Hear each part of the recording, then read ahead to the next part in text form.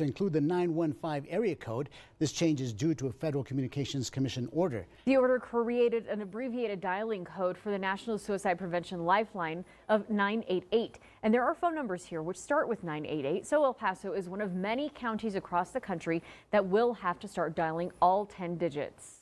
It's a change that many people might not be aware of, especially the elderly.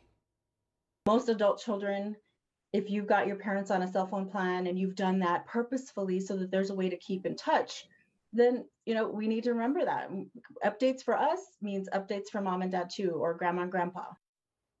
Safety and security equipment like medical alert devices and security systems will also need to be reprogrammed for 10 digit dialing. Dialing 911 will not be affected.